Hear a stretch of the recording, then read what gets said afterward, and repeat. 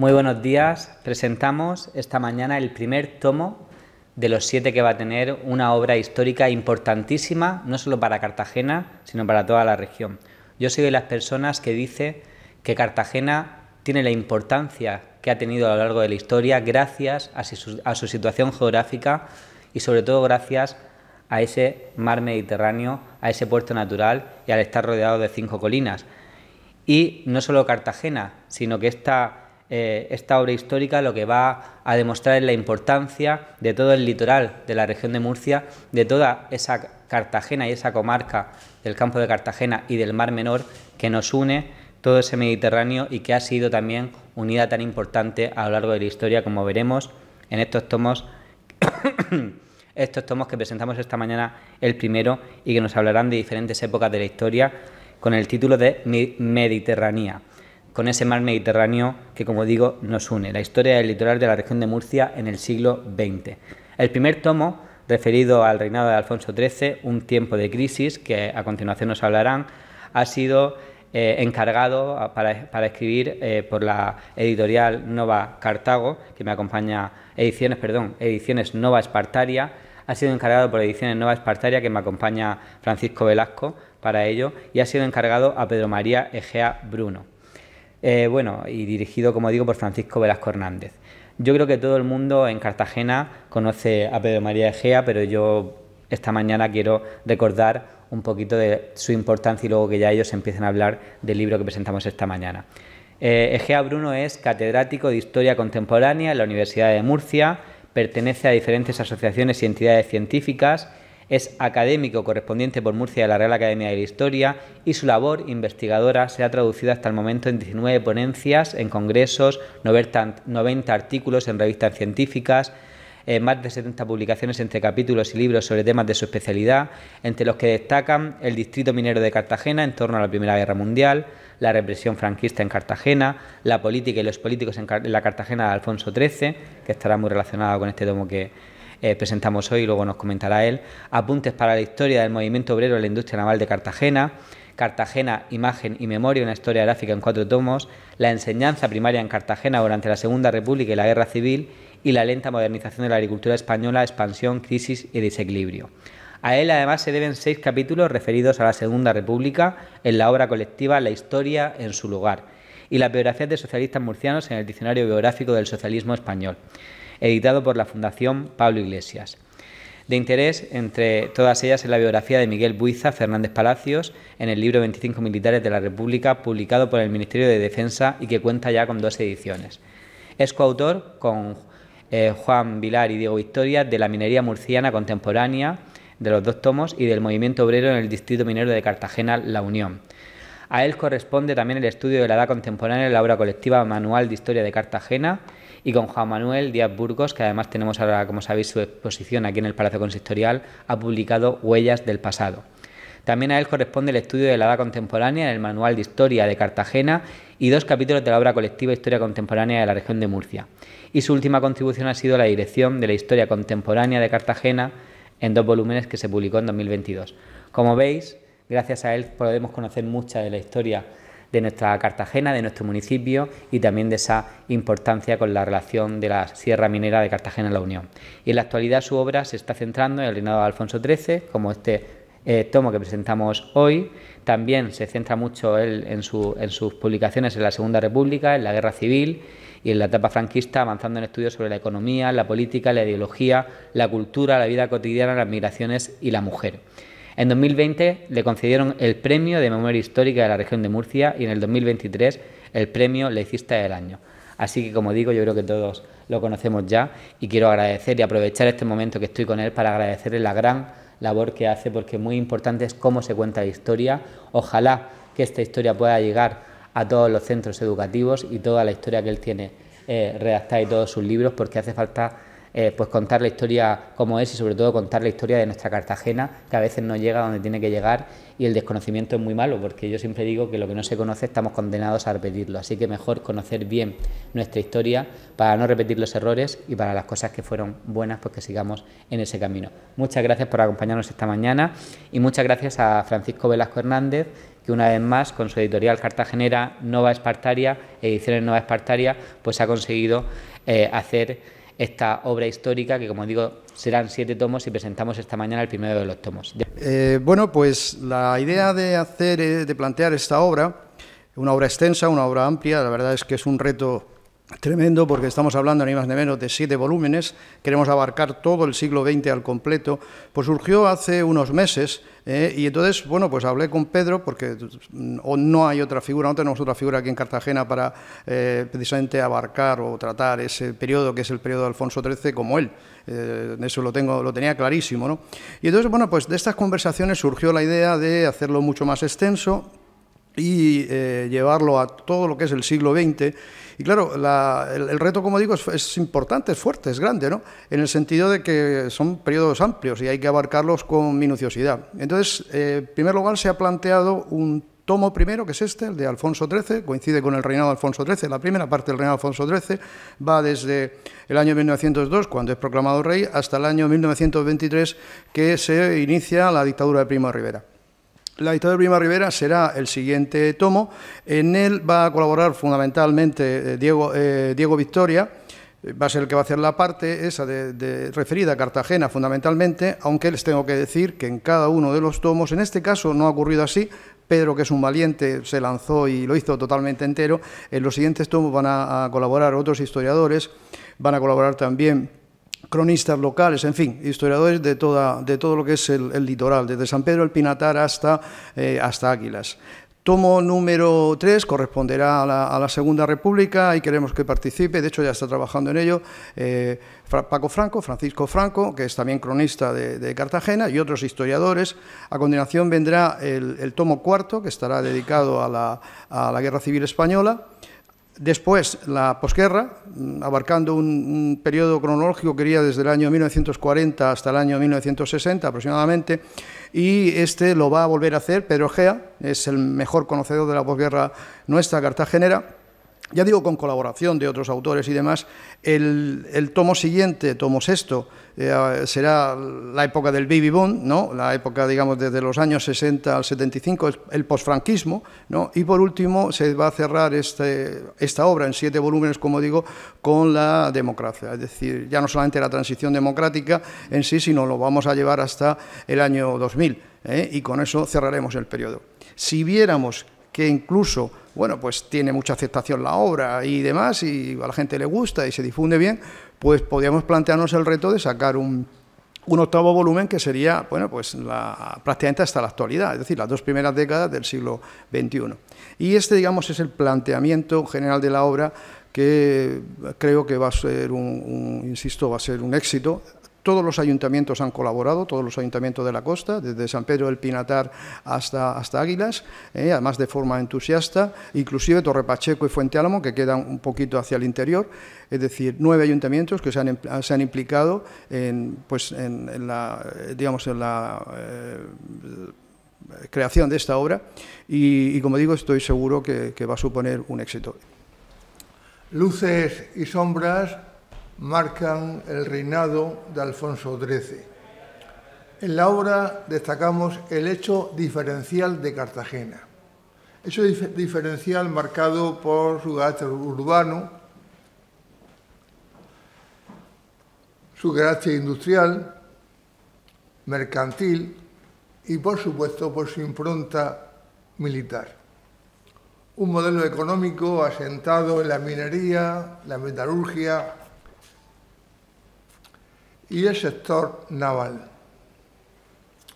Una economía dependiente, es lo que marca justamente eh, el modelo de Cartagena. Dependiente del Estado, dependiente de la inversión extranjera. Cartagena es un núcleo urbano de primera magnitud. La población supera, hay que decirlo con todo orgullo, a la capital murciana. Cartagena tiene más habitantes que la capital murciana. Me refiero al núcleo de la población. Junto con ello, la sombra de este proceso es la altísima mortalidad. Una mortalidad que depende de la situación adversa de Cartagena. Una ciudad muy cerca del nivel del mar, con carencia de alcantarillado, de agua y la muralla. La muralla convierte a la ciudad en un caserío agobiante. Es una ciudad cuartel. Las puertas de la ciudad se cierran en verano a las 11 de la noche y en invierno a las 10 de la noche. Nadie puede entrar ni salir de Cartagena fuera de esa hora. Y a esta situación interna hay que sumar la epidemia de gripe, la gripe famosa, la gripe española del año 18, que hace estragos en la ciudad de Cartagena. Y por supuesto la crisis económica que veremos enseguida da lugar a una importante emigración. Luces y sombras, unas altísimas tasas de analfabetismo. Estamos hablando de tasas del 60%. esa, esa situación tan negativa obedece de una parte al abandono escolar y de otra parte al trabajo infantil. Son los años en que niños con 8 o 9 años, en lugar de ir a la escuela, van a trabajar. Por supuesto que los peores datos se refieren a las chicas, a las niñas y, como no, al mundo rural. Las escuelas del mundo rural son francamente deficientes. Lo positivo, la luz de esta etapa a este respecto, las escuelas graduadas, las primeras de España. Es el contrapunto a esta situación de decadencia de la enseñanza. Tenemos, es la primera piedra de, que va a dar lugar a, esa experiencia, ya digo, única en España. La bonanza económica tiene una consecuencia, cambia la faz de la ciudad. Se abre la calle Gilbert, se, eh, es abolida o derivada la muralla de Cartagena, se gana terreno al mar y por supuesto se levantan mansiones cortadas bajo el patrón del modernismo. Los ejemplos son muchos, la Casa Cervantes, el Palacio Pedreño y pues, incluso, por supuesto, el Palacio Consistorial. La ciudad, estos avances de la época, esa bonanza económica, la ciudad se electrifica, es ahora cuando se crea la fábrica de la luz, un nombre precioso, y se inauguran los tranvías urbanos de Cartagena. La ciudad está cambiando, fruto de esa bonanza económica. Y por supuesto también se crea ahora el Banco de Cartagena. Una ciudad, ya digo, a la sombra de la minería, a la sombra de la industria naval. Sin embargo, la Primera Guerra Mundial acaba con esta situación. La Guerra Mundial pone fin al crecimiento económico. Saca a la luz la fragilidad de la economía cartagenera, su dependencia. Lo que hace la Guerra Mundial es poner sobre el tapete la dependencia económica de Cartagena y ahí quiebra el modelo económico. La sociedad de la época es un trasunto, un reflejo de la economía. De una parte la burguesía, una burguesía que destaca por su carácter endogámico, cerrada sobre sí mismo. Los maestres, los Pérez Lurbe, los, los Carrión, los Dordas, los Espotornos. Una sociedad burguesa cerrada y endogámica. Gastos suntuarios, lo hemos visto, grandes mansiones, y el control de la política. Por debajo de la burguesía, los trabajadores, que comienzan a organizarse.